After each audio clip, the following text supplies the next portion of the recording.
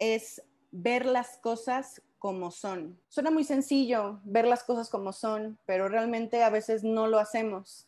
Tratamos de, de escaparnos todo el tiempo. Si estamos en un lado, nos estamos peleando que por qué no estamos en el otro, que por qué hace frío, que por qué hace calor, que mejor hubiera dicho, mejor hubiera hecho, ay no, qué flojera. Y todo eso es la, la niebla mental que nos vamos llenando, que si se dan cuenta, pues es todo juicios, juicios, no, bueno, malo, le gano, le pierdo, en lugar de solamente estar y disfrutar como cuando éramos chiquitos, ¿no? Si tú ves a los niños, se despiertan y aunque sea la misma casa, el mismo lugar, es wow. Y sigan su día a día, no importando que estén en el mismo lugar haciendo las mismas cosas, ellos lo ven diferente y es esta mente la que tenemos que recuperar.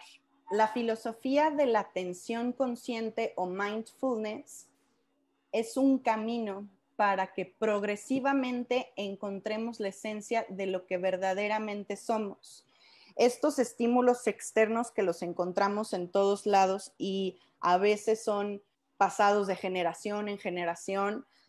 Eh, los miedos de tu mamá pueden ser tus mismos miedos, los orgullos de tu papá pueden ser tus mismos orgullos, pero no por eso son tuyos. Son programas que ya traemos de condicionamiento y así vamos pasando el conocimiento, pero realmente no sale de una esencia.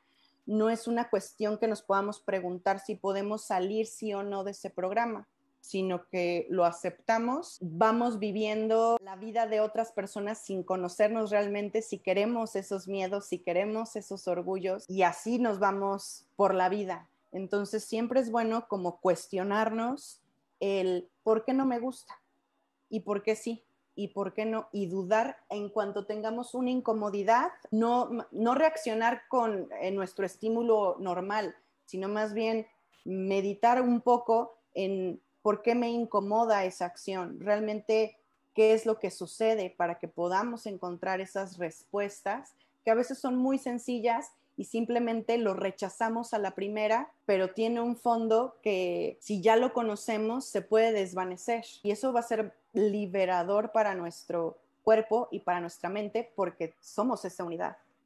Hay que ser conscientes de lo que nos provoca malestar o ansiedad y que eso que lo provoca no son los eventos mismos, sino cómo vivimos las emociones ante estos eventos muchas veces, eh, no sé, estamos preocupados por si va a llover o no, por decir algo. Y realmente no es que me preocupe si va a llover o no, sino que he postergado mucho lavar la ropa, entonces, ay, si va a llover o no, eh, y entonces mejor no lavo, mejor sí lavo.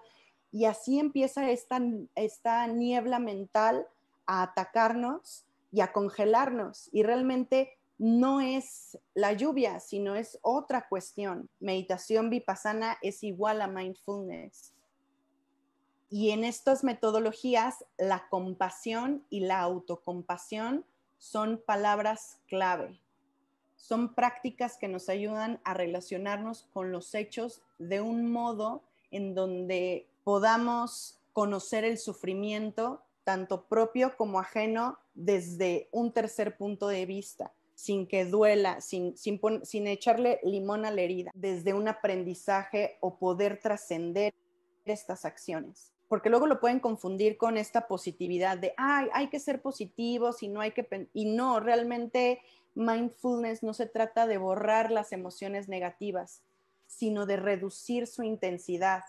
Aquí un poco con los desbalances dóxicos es justamente llegar a los desequilibrios y conocer en dónde está ese punto medio. Las técnicas propias del mindfulness se han aplicado como soporte a la psicoterapia para solucionar problemas de salud mental como el estrés, la ansiedad, los trastornos asociados con el sueño o la baja tolerancia al dolor, entre otros. El objetivo es aprender a gestionar estas emociones, reacciones, actitudes, pensamientos para poder afrontar las situaciones que se nos presenten día a día mediante la práctica y el perfeccionamiento de la conciencia plena. Desarrollamos ciertas actitudes positivas en relación con nuestro estado mental y nuestras emociones, llegando a controlarlos desde una libertad.